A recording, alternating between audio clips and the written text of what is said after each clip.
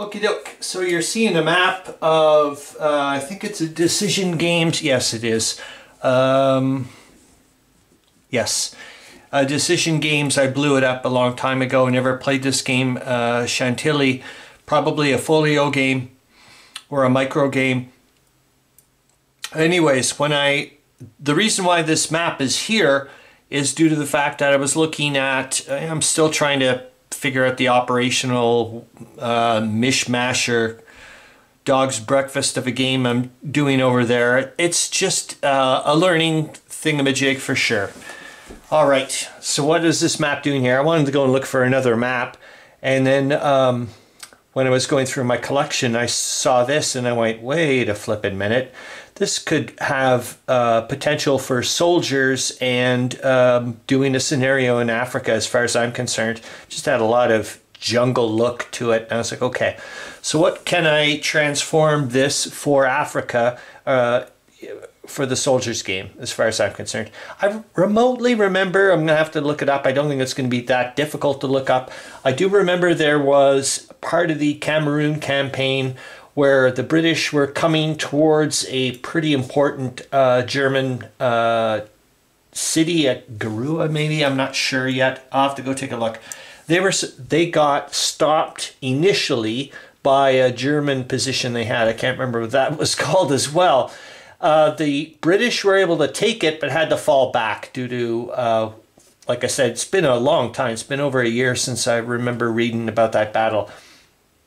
The British, when they got the reinforcements or whatever the heck they needed, and they went forward, they were surprised the Germans were not there. As, uh, but then when they went forward, they I think they got um, hurt quite a bit. They eventually did take the, the spot. But when I saw this, I was like, hmm, it's got quite a bit of uh, potential.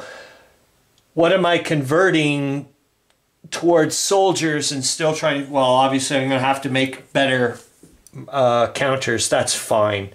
Uh, the scale for this game is one hex to 300 whatever. It doesn't matter because this uh, it just means it's just going to be a small scale thing. Probably well they didn't have big artillery over there. Um, i'm going to obviously i'm going to give the germans probably two machine guns and um, an artillery but it's going to be reduced and obviously, I'm going to give these guys, uh, the British coming up, they'll get some machine guns and whatnot, and maybe an artillery piece, but it won't be like crazy range and crazy strength. That's just the way it goes.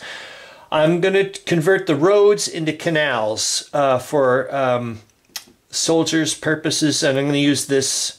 I don't know what the heck it is. What is it called? A railroad bed. I'm going to turn that into a footpath or whatever. And Soldiers doesn't have this. It's got woods and, you know, uh, hills and open terrain and so on and so forth. So I'm going to use this as um, kind of like Der Weltkrieg in a weird way of um, broken terrain. It's not going to affect your movement. Uh, this is going to be woods. Oh, I love this little dude. But I don't think it's really going to affect anything anymore because the I'm setting I'm allowing the Germans or uh, the, yeah the German forces to um, uh, start anywhere from here. I haven't even figured out their strengths, or it doesn't matter, right? Like I said, I'm just trying to see if I can use this map. I think I can.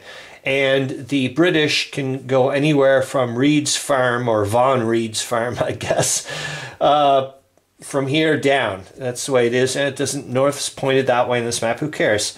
Um, so like I said, so these are the roads are going to be turned into canals or streams, kind of thing, or whatever.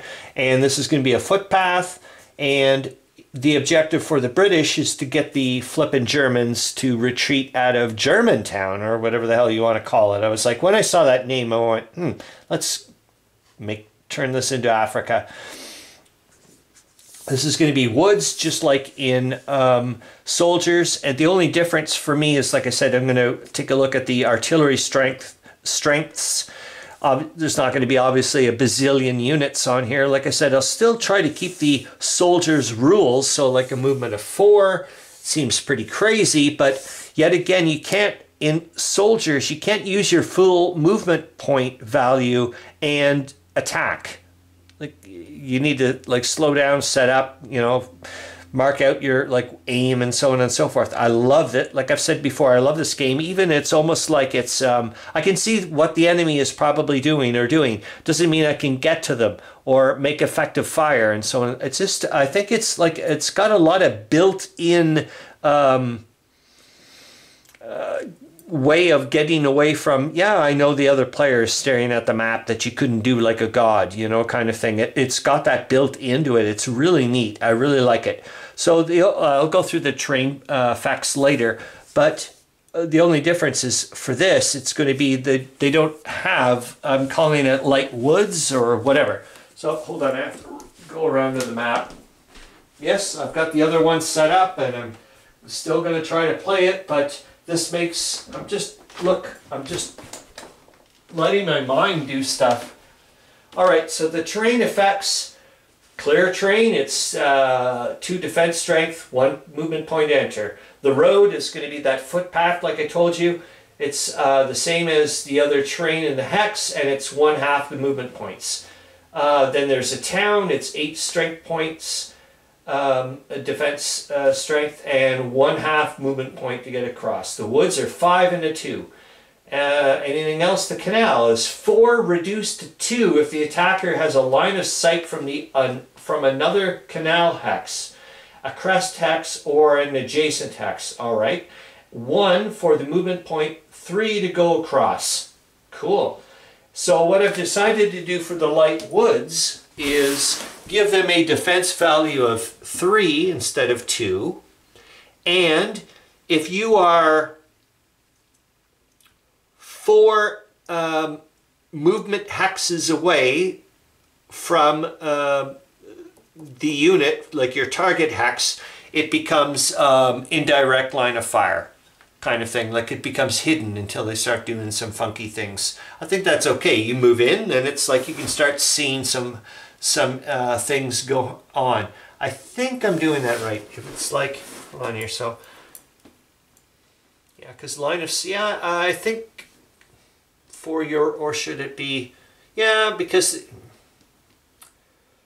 that, I'll just, that's the final little bit. But uh, the for the woods, I'm trying to make it kind of like, the further you're away you're in the line of woods to your target kind of thing. And if there's like a it's like almost uh, yeah it's it causes a bit more um, you're putting like another bit of um, translucency in you know in front of another one. Eventually you I just can't see what you're up to really.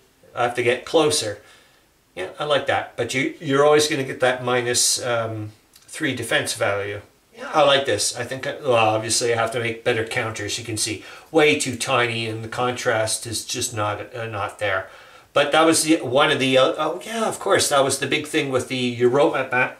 The Europa map, sorry, I'm about to sneeze. Uh, the Europa map. Holy sir, sorry. Uh, the Europa maps and um, my counters that I made are just too, a little bit too, and the Alberto markers, it just was not working. I was knocking things over every two seconds. All right, let me turn off this video because I'm just gonna, I know I'm starting getting another sneeze fest. Damn. Anyways, I think so. I've got, I'm, yeah, I like the map and uh, minor, minor adjustments to the soldier rules. I just, as long as I don't uh, turn the uh, light woods into some kind of crazy monstrosity and over uh, turn it, you know, make it too complicated. I think I, I've got something nice here. Yep. All right. Hope you're having fun, man. See ya.